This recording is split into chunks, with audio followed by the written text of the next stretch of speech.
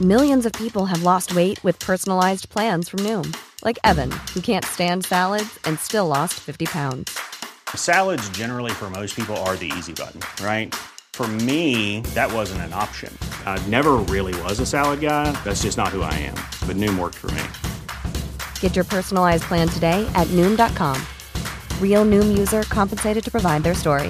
In four weeks, the typical Noom user can expect to lose one to two pounds per week. Individual results may vary. There is nothing I love more than an amazing meal with high quality meat cooked at home because let's be honest, eating out is so expensive. And you also know that eating out is the number one budget buster. That is why I am so glad I found ButcherBox. ButcherBox is a premium meat subscription service dedicated to delivering high quality, grass fed, and grass finished beef, organic chicken, pork raised crate free, and wild caught seafood directly to your doorstep with free shipping always. You even get exclusive member deals, recipes, and a variety of high quality cuts at an amazing price. New users will receive their choice of two pounds of ground beef, three pounds of chicken thighs, or one pound of premium steak tips for a year. Use code ETM and get $20 off your first box at butcherbox.com. Last night we made a beef stew with meat from ButcherBox, and you can taste the difference. It was so satisfying and delicious. And all of our friends that were over for a dinner party, they raved at how good it was. So do yourself a favor and eat better this year with the best meat and seafood on the planet delivered to your door. ButcherBox is offering my listeners their choice of a weeknight meal essential: three pounds of chicken thighs, two pounds of ground beef, or one pound of premium steak tips for free in every order for a year. Plus, get $20 off your first order. Sign up today at butcherbox.com slash ETM and use code ETM to choose your free offer and get $20 off.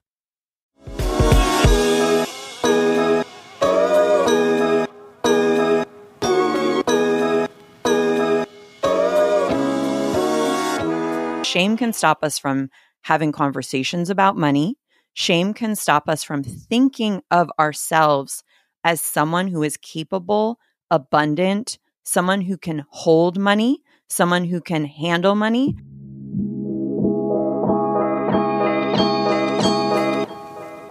Welcome to Everyone's Talking Money podcast. I'm your host, Shannah Game. There's no judgment, no dumb questions, just smart conversations about you and your money. So come on in and grab a seat. Everyone is welcome here.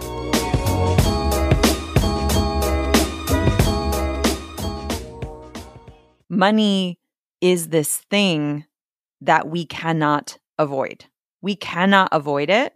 So why not have it be as nurturing, generative, eye opening, weird, interesting, you know, as as we are. Everyone always asks me, how could I come up with a thousand different podcast episode show ideas? And I tell them it's actually very easy because money is very complex. And even though you've been taught to believe it's simple, it is complex. But just because it's complex, it doesn't mean it has to be hard or soul crushing. That's what gets me excited to do this show. Whether we're talking about a classic money topic like how to pay off your debt, or something more complex like the emotions behind your money, there's just a lot to explore from a lot of different angles. Our guest, Sarah Gottesdiener, host of the podcast Moonbeaming and the owner of Moon Studio, is here to explore what we don't talk about when we talk about money juicy topics like shame, nervous system dysregulation, self sabotage, something I know a lot about myself, and all our ancestral money trauma. And she's here to help you learn practical tools to create change. I'm Shannah. This is Everyone's Talking Money. Let's start talking. We've got a lot to talk about, uh, and I, I've been looking forward to this episode because you know, my passion is really to help everyone listening, you know, understand that finding money success, you know, whatever that looks like to you is is about more than just having a ton of money. I think we could both agree that having a lot of money is is always a good thing, but it just it doesn't guarantee a happier life or that life gets better. And I think to define like true money success, I think we have to be willing to look at everything from a really kind of like holistic point of view. You know, how do we make money? How do we keep it? How do we grow it? But also, you know, how do you internally feel about money? What's your money story? What are the beliefs that you have believed about money? Like what are the things that are that are getting you stuck? So we're here to talk about the things we don't talk about when we talk about money. things Yeah. like shame, nervous system deregulation, self-sabotaging, epigenetics and ancestry. So I want to start with this idea of shame because I feel like it's something so prevalent. You know, tell me how does shame how does that show up? How is it embodied when we talk about money? Oh, I mean, where isn't it embodied, right? Like I think in there there's so much shame ultimately embedded in money because in general our culture, not every person in the culture, but culturally as far as I I interpret it, we are in a scarcity based culture, which means it's viewing things from a position of lack, a position of competition, a position of not enough. There's never enough. You know, th- we see millionaires wanting to become billionaires. We see billionaires wanting to fly to the moon when they could be solving hunger. You know, like we see this very chemically fueled, I would say historically fueled um, relationship with scarcity. And so, what that ends up creating with many of us, whether it's unconscious or we can kind of see it and we can kind of feel it in our nervous systems, and it kind of influence, or it not kind of, it does influence our relationships, including that with money and work, is shame, which is the feeling, uh, which is the emotion or sensation of I am unworthy, I will never be enough. Um, and that then ends up creating certain patterns that, of course, we're here to relearn and we're here to rewire. And that's why money and work are such fertile grounds for reworking our relationship with shame because of all of the programming internalized and externalized around not being enough, not having enough, how that ends up influencing our self perception and our relationships with other Right. people. So it's a really great place to, you know, as my therapist would say, there's a lot of material there, right? That we can work with. yes, exactly. And so you talk about these these patterns and I think, you know, one of the things that I I love to do on this show is help people understand and and maybe kind of I don't know, just have greater awareness of of the patterns that um, they have around money, why they do or don't do certain things. And I know shame is at, at the core of you know so many of our relationship with money. I know it's been at the relation you know core of my relationship with money for for quite some time and i've worked with hundreds of people and i would i would all you know regardless of situation come back to shame being kind of a cornerstone there. You know but uh, how does how does money shame or i guess what does it do to us like externally Mm. and then internally more i think because it's something we don't really self-examine very often Yeah, I think shame, there's a couple of functions of shame. I think one function of shame is protection. I think that shame can protect us from experiencing more intense sensations, whether that be emotions or memories or processing hard truths. I think shame can keep us separate from our authenticity and our desires. I think that when we take shame outside of the lens of it being bad, it serves a purpose. You know, every behavior we have, whether Right. it be staying up too late at night or overspending or, you know, whatever that may be, not talking about things, secrecy, like they all serve a purpose. Um, and when we, like, I'm teaching a class right now on abundance. And one of the things we do, and I'm just bringing this up because I think some of the listeners might benefit from this, we have conversations in a mild meditative state with abundance, but we also have conversations with scarcity. And we listen to what scarcity wants to tell us.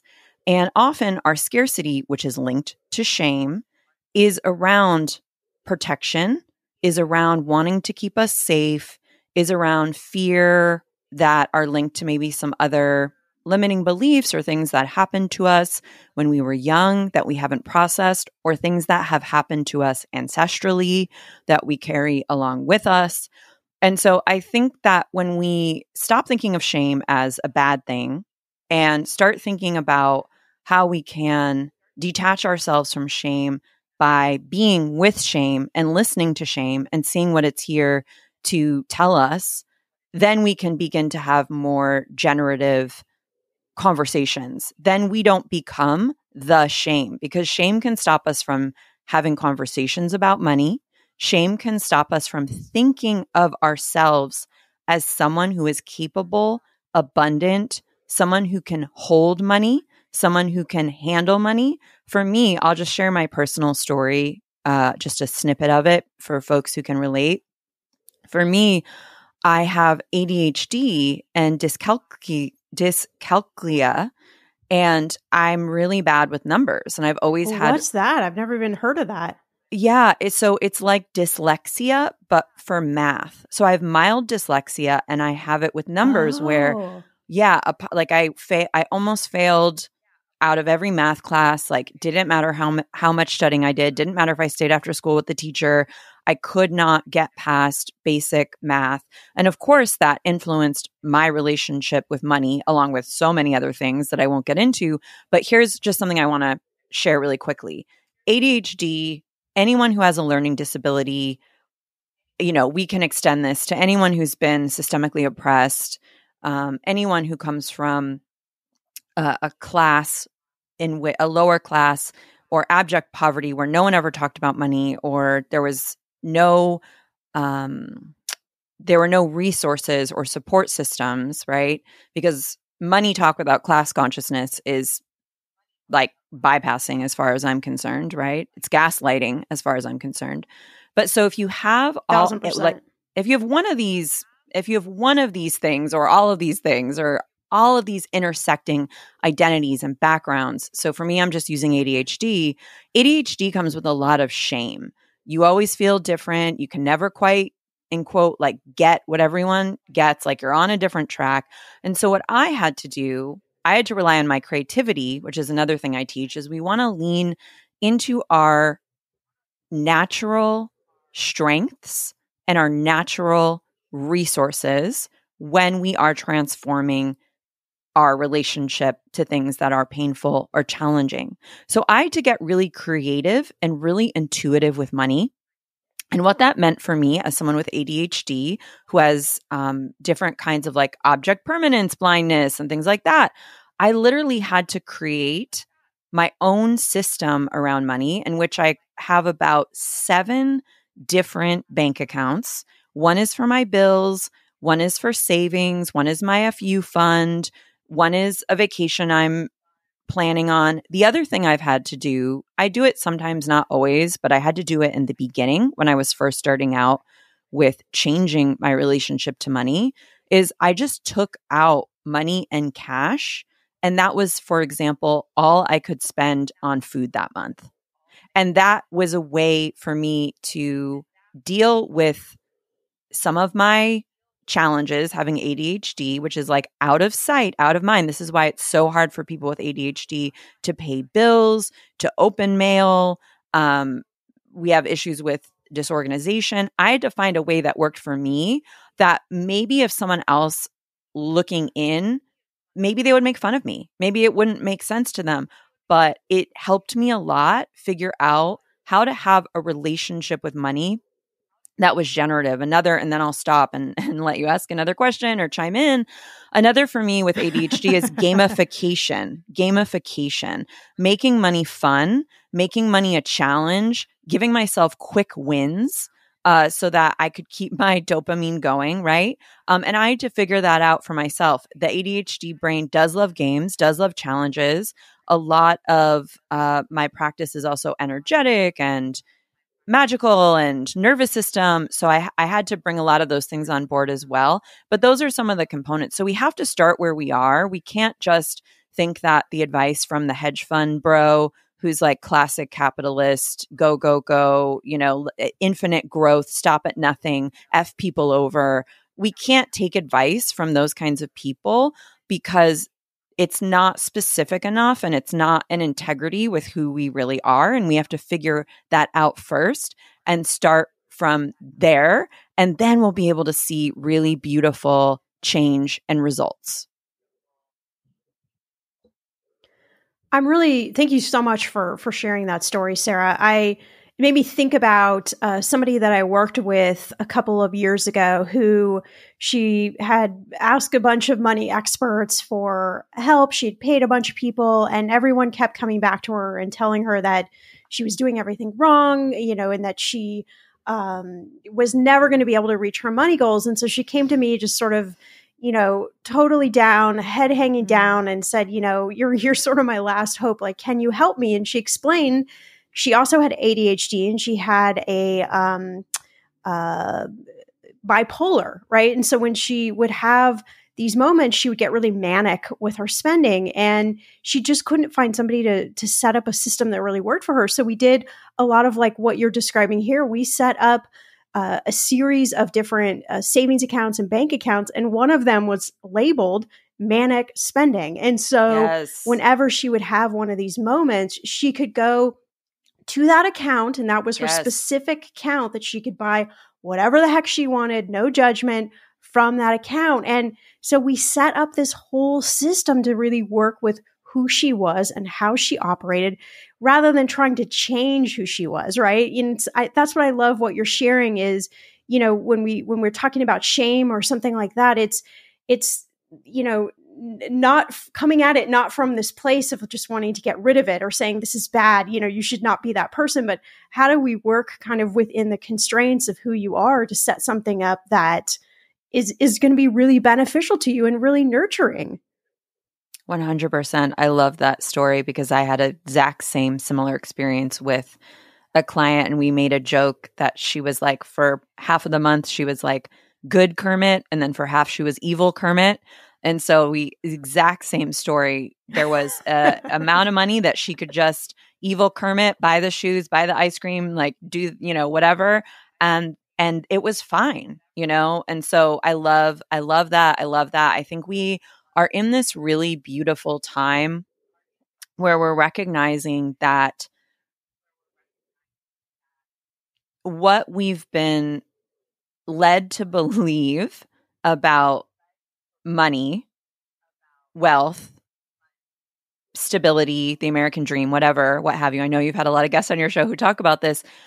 You know, it it might have been a lie, it might have not been for us. And again, like I don't want to take advice from someone who hasn't specifically dealt with some of the challenges I have faced. And I think because of the rise in our access to different stories, the awakening that we've got to get our mindset in a certain space, yes, but we've also have to have our nervous system on board, our emotions on board. We have to really interrogate. I talk a lot about the symbolism of money and what money symbolizes for us. Because, so for example, say money symbolizes a lot of times, too, in my classes, it'll be paradoxical.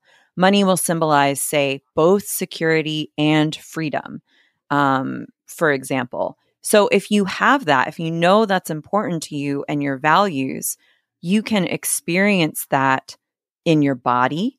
You can begin to sensation track and freedom map in your life and you can start moving towards and orienting towards how you want to feel and how you want to be around money. Absolutely. And also in all of the other ways where you can just get started right now. I don't need money to feel more secure in my body. I need nervous system regulation, you know?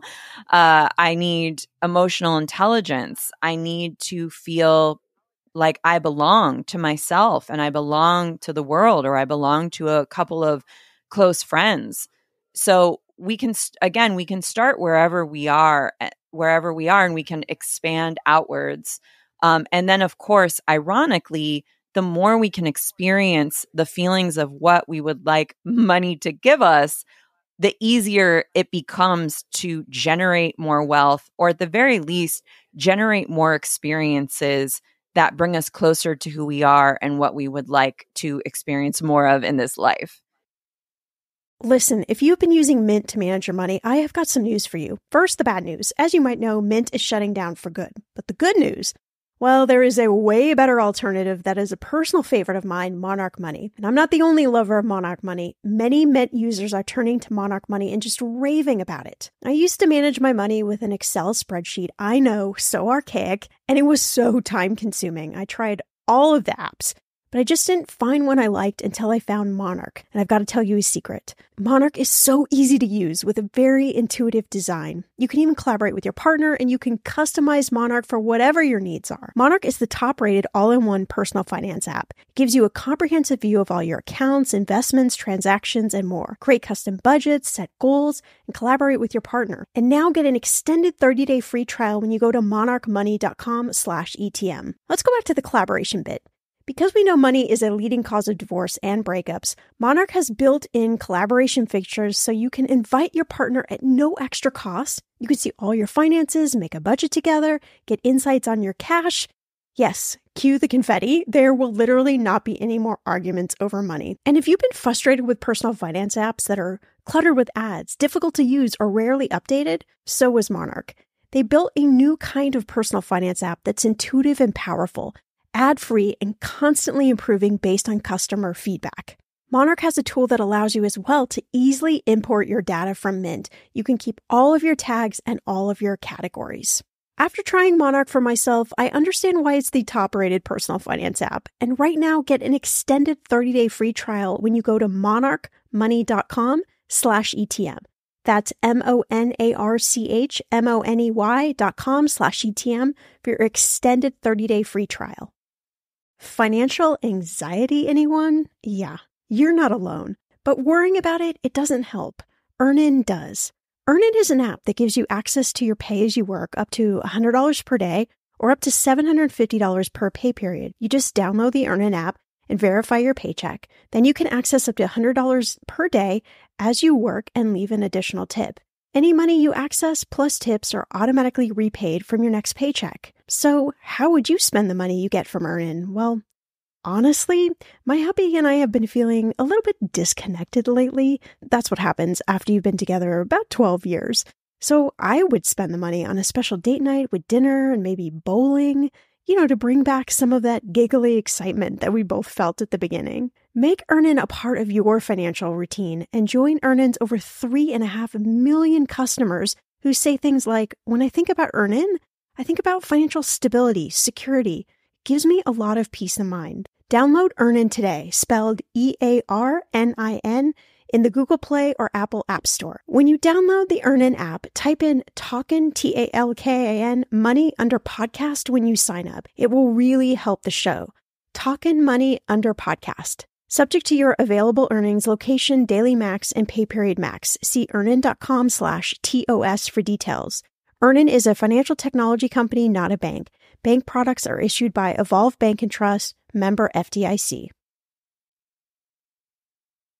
So tell me more about the nervous system and how, how do we bring it into um, how, do we regulate it? How do we get it to a place that it's actually going to be beneficial uh, as we're you know developing in our, our relationship with money? Yes, I love this conversation. I've done some work with my students. I've done some work with my clients around this. I just as a caveat, like an aside, a lot of folks who are drawn to my work are highly sensitive people. Shocking. I'm highly sensitive. Um, and they also have a so history. am I. Good company. Yeah, you know, HSPs. Here we are, living, loving, laughing. Um, and then they also often have a history of trauma. And again, I think that's a lot of people, you know, I don't, I, I would like to end the stigma.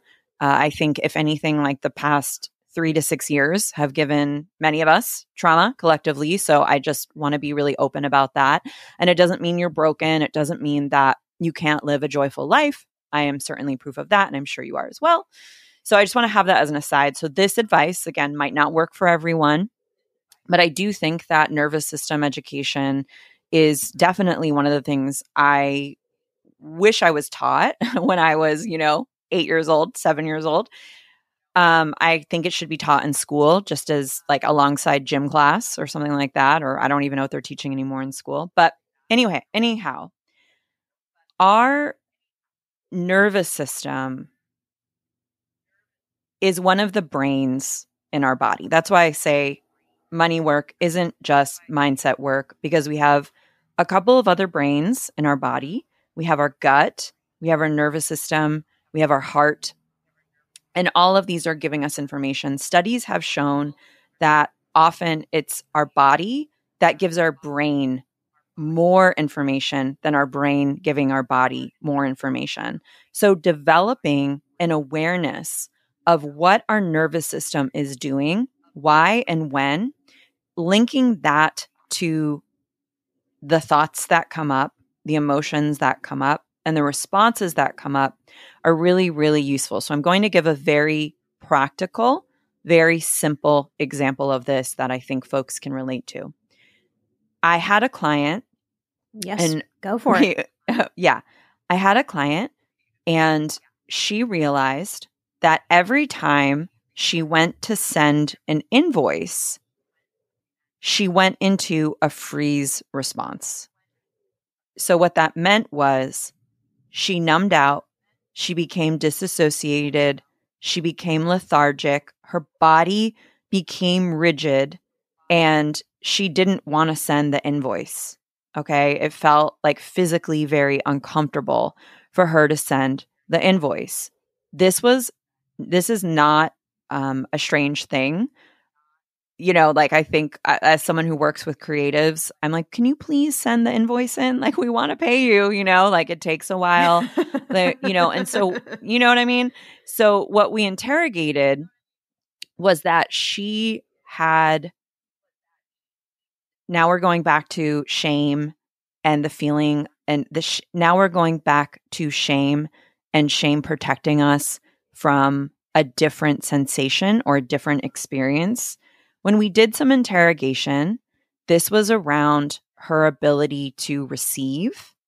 And this was around other beliefs she had around overwork or not being able to get paid for what she liked doing or to get paid for what was in her zone of genius.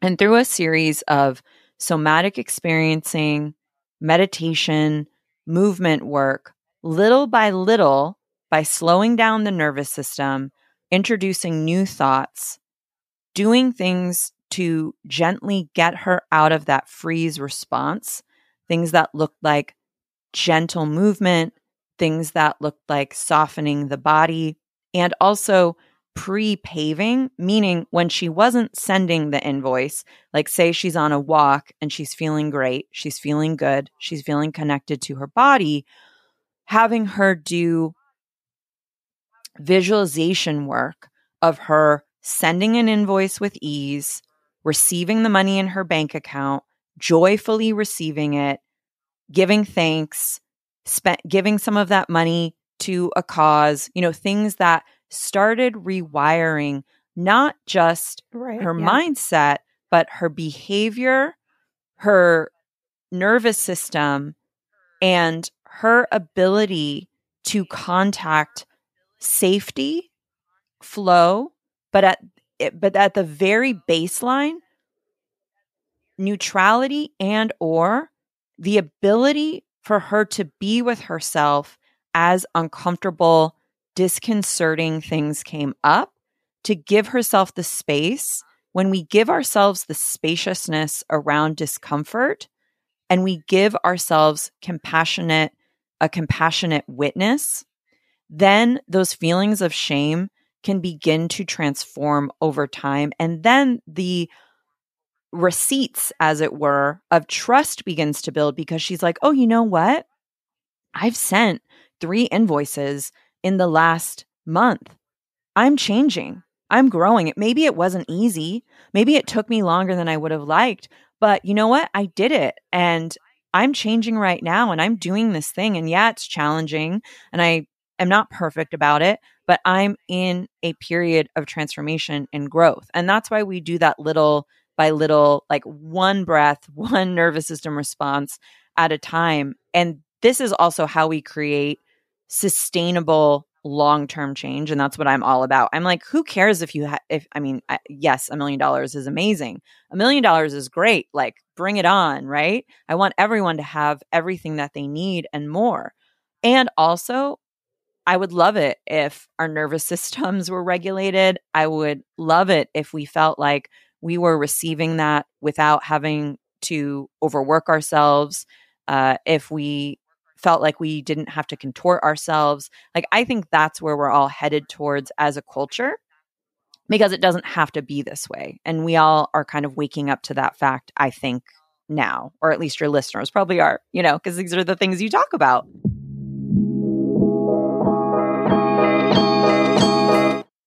When it comes to financial advice, you got to trust the source. It's why you listen to this podcast. When I'm looking to upgrade my wallet, I turn to NerdWallet. Their expert team of nerds dives into the details to help you find smarter financial products. Before NerdWallet, I was paying for vacations all wrong. I was missing out on miles I didn't even know I was leaving on the table. Now I've got a new card with more miles and more upgrades.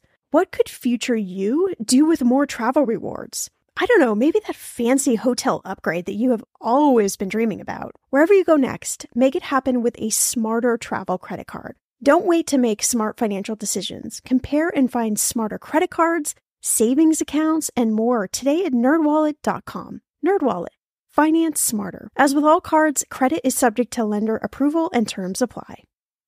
Yeah, I mean, this just makes me like so excited. I've got like hairs standing up on my arms if you could see them right now because I'm I'm writing a book and you know I'm, I'm really diving into this idea that I talk about on this show all the time, and I think you're you're putting you know exclamation marks behind this that you know we get to a point in life most of us where we're like wow we have all these things that we, we want to do and all these goals we have and like we're not getting any closer to them like what's going on so you you go out searching for uh, I, I call it the how to's you know how do i buy a house? How do i set up a business? How do i pay off my debt? How do i and you'll get a list a laundry list of the steps you take but that doesn't actually create the change and what i know is most people get that laundry list of things to do and you just don't do them right? And so what i love about this conversation is you know money is so much more complex than just the how to's, that's about 10% of the equation of success. The other 90% is this,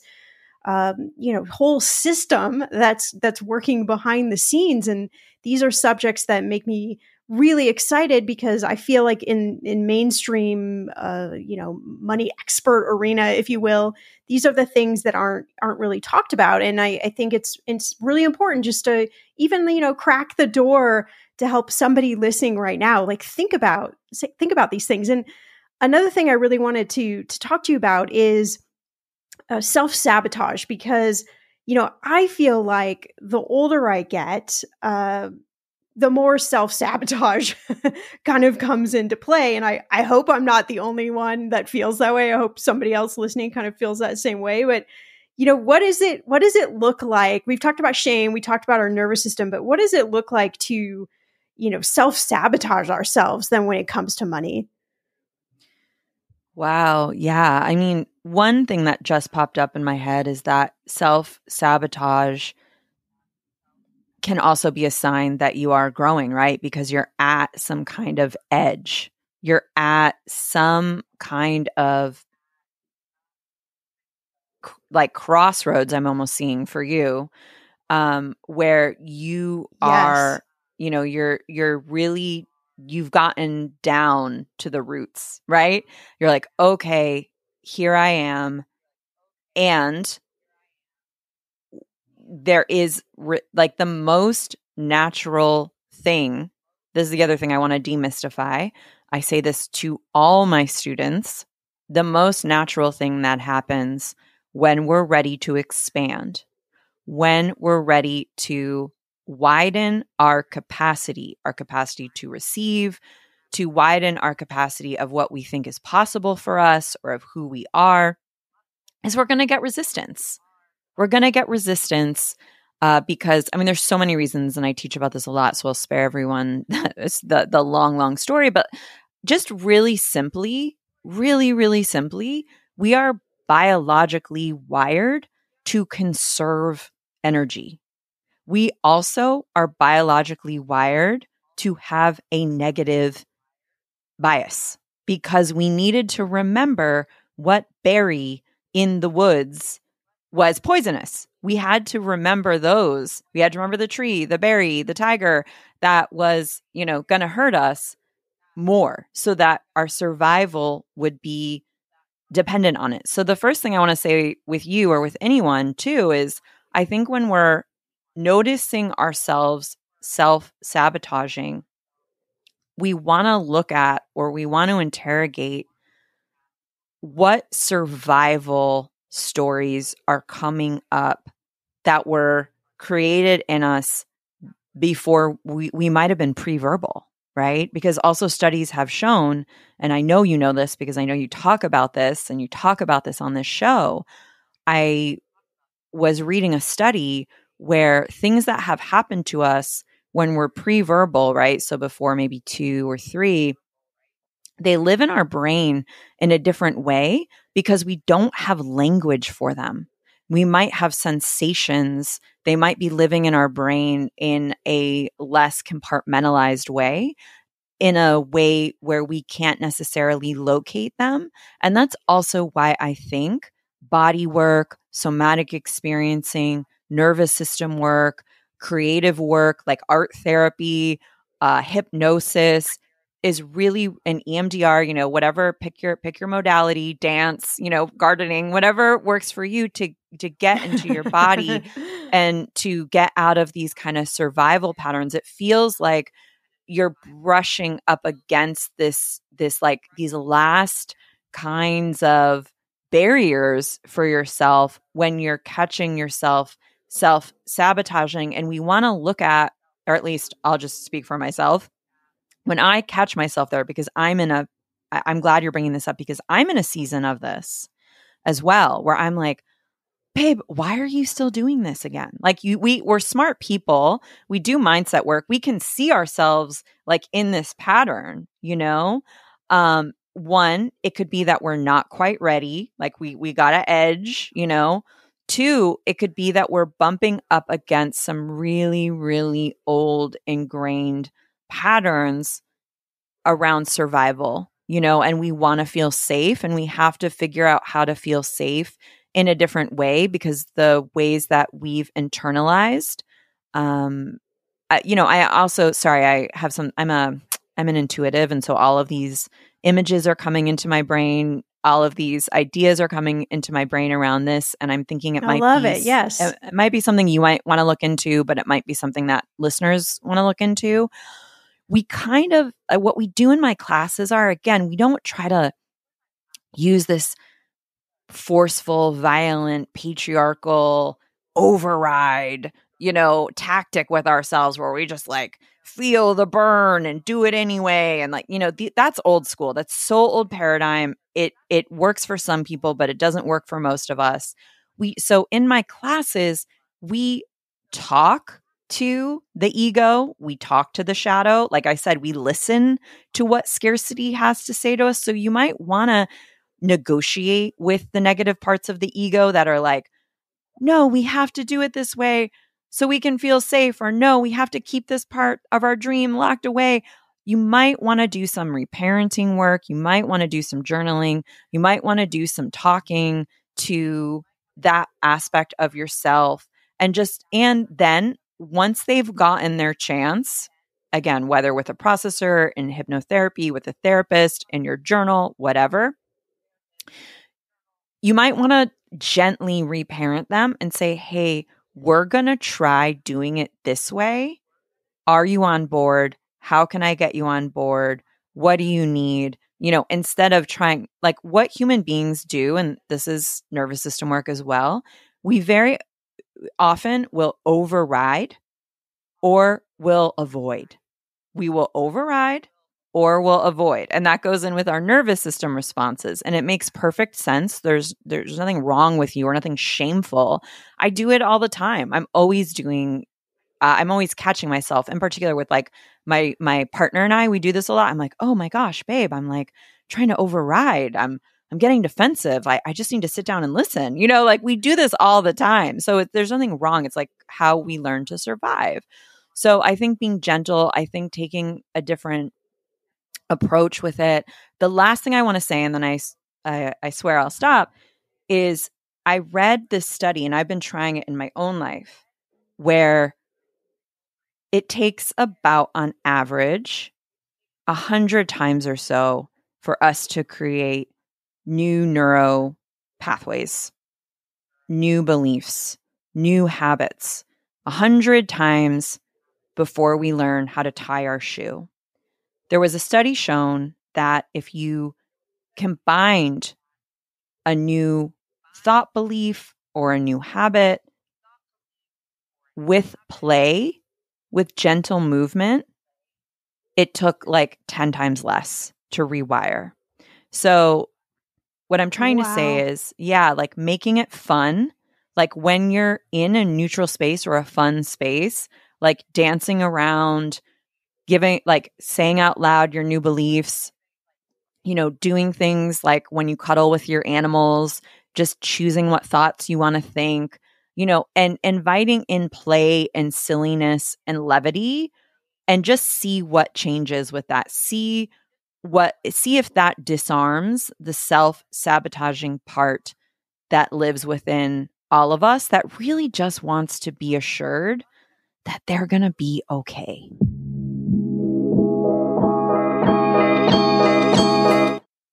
I am going to enter into more play because I definitely need that in my life. If you somebody that knows me personally, you know that uh, I tend to be a little bit more serious. my husband says I'm always way too pragmatic. So mm-hmm. I am going to bring in some of that play. And I want to touch on a little uh, something. I mean, so many different gems you just shared here, but I want to touch a little bit on ancestry because you talked about that and epigenetics. You know, I was thinking about this uh, a couple of days ago. My uh, my grandma Hilda, my dad's mom, she um, was kind of a trailblazer entrepreneur before that was hip and before women did that. She ran her own salon out of her house and she worked all of the time. She lived through the Great Depression. And, you know, my theory is she died when I was fairly young. So I, I didn't get to have any of these conversations with her. But my theory was she worked all of the time because she just did not want to have to. Uh, not have money again, you know, if something else really bad happened in, in the world. And that was kind of how she nurtured herself. But, you know, my father, my dad learned that that same sensibility and he is in his 80s and he will tell you he is not going to stop working until the day he passes away that is just what he loves and it's become such a fabric of who he is and you know i see a lot of those same tendencies in myself and i try to not embody working all of the time but it's it definitely consumes a lot of my brain because i i love what i do and so it's just really interesting to me how you know, when you start to think about your ancestry and you start to think about, you know, I don't know before my grandma Hilda, you know, what the tendencies were and what the patterns were and what the thoughts around money were. I don't have access to that, but it's really interesting to me to try to try and, you know, kind of dissect things and really look at like, okay, why do I do certain things that I do? You know, so I'm really interested. Like, tell me a little bit more about, you know the role that our you know ancestry stories and links and beliefs and all that plays into kind of our current money situation yes this is such a great question i love your share uh it's so rich because there's so much there.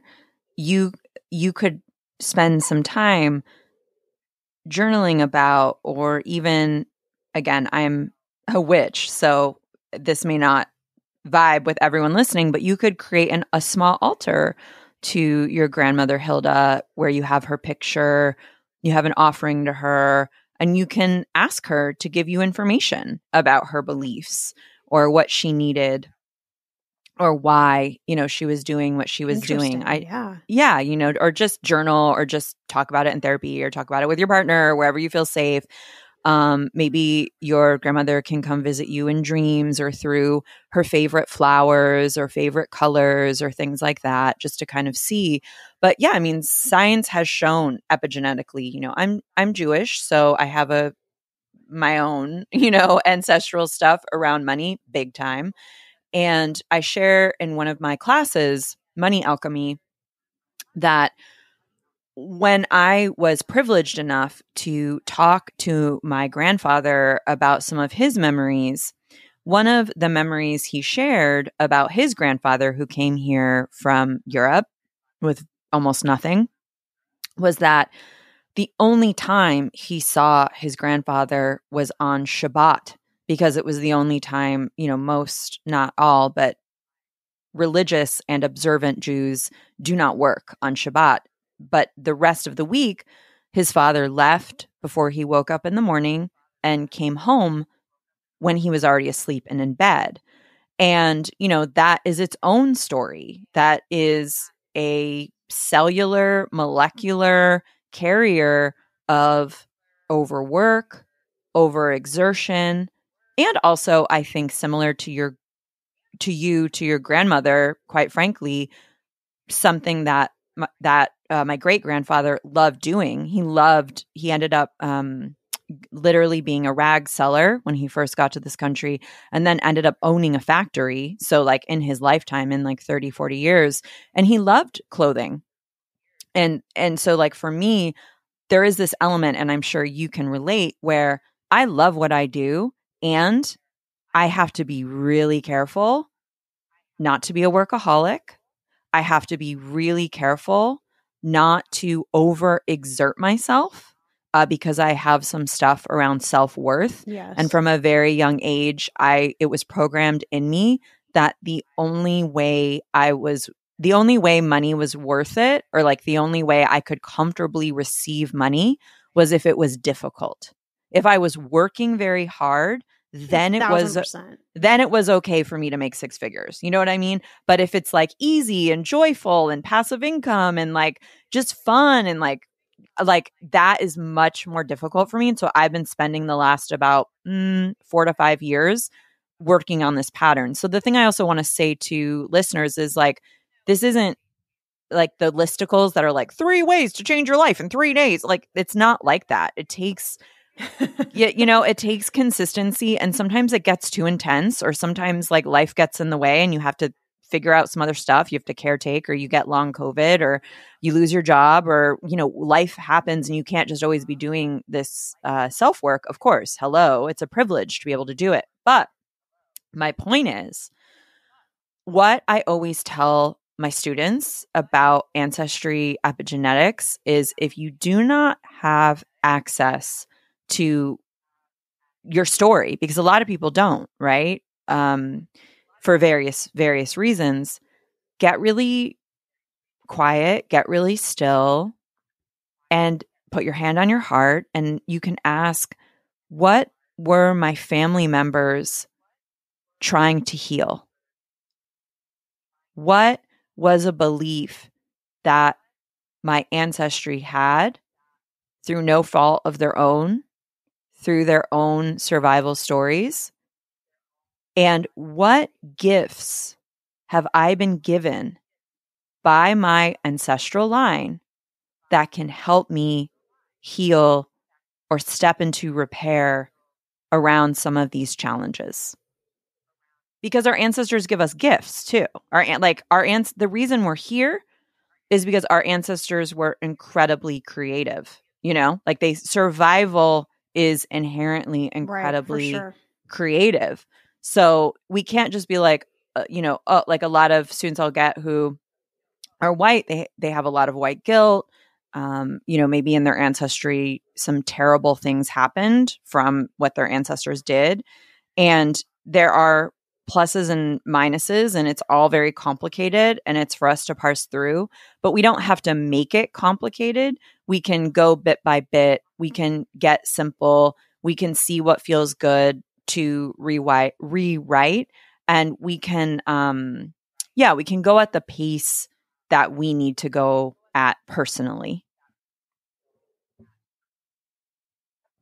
Well, I feel like we we've just kind of like tipped the iceberg in this episode. I mean, there's been so much we've talked about and and so much more to to dive into, but you know, as we as we wrap up, I just I want to leave everyone listening with you know, some little some little nugget. Sarah, you know, why do you think it's important that we spend time talking about this stuff about money that we don't normally talk about or that we don't normally explore? Like why why do this work? Why dive into this?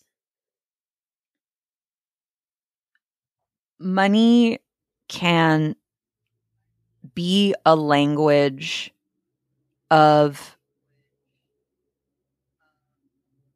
how we relate to ourselves in the world it doesn't have to be boring it doesn't have to be the same as what we've been taught. A lot of people listening to your show, I think, are inherently creative. Again, as I've said, all humans are. We can get creative with it, and it can be a doorway, an opening to different kinds of repair because money is this thing that we cannot avoid. We cannot avoid it. So why not have it be as nurturing, generative, eye opening, weird, interesting, you know, as as we are. This episode just kind of hit home for me in a really big way. If I'm being honest, I have dealt with all the topics we talked about shame, nervous system out of whack, self sabotage, and I've also grappled with my ancestry and the money beliefs that have been passed down for generations. But I, I loved how Sarah walked us through these heavy topics. So you see, money, yeah, it's simple, but it's also very complex. But it doesn't have to remain hard or stressful. So hopefully, this episode just opened the door for you to explore how these topics also show up in your life. If you want to connect with Sarah, you can find her podcast Moonbeaming wherever you're listening to this podcast right now. You can also find her at Moon Studio, and the web address is moon studio.co. If you enjoyed this episode, uh, you know what to do. Share it with a few friends right now. Invite them into this simple yet very complex world of money. As always, you can head to the show notes for all the links to our episode guests, as well as the sponsors who make this show possible. I'll see you back here, my friend, in a few days for a brand new episode.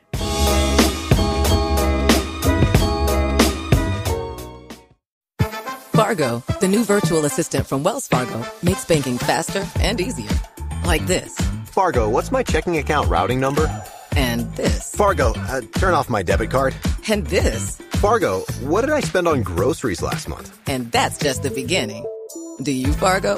You can in the Wells Fargo mobile app. Learn more at wellsfargo.com slash get Fargo. Terms and conditions apply. Your mobile carrier's availability and message and data rates may apply. Wells Fargo Bank N.A. member of FDIC.